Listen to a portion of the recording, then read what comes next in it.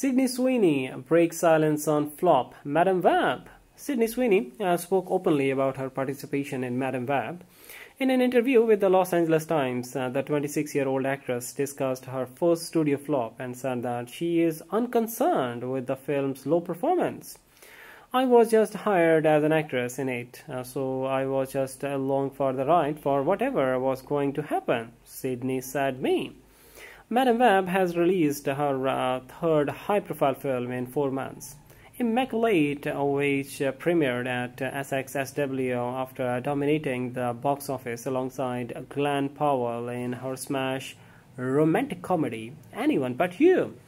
Sydney played uh, Julia Cornwall in Madame Web, a Spider Woman-inspired film.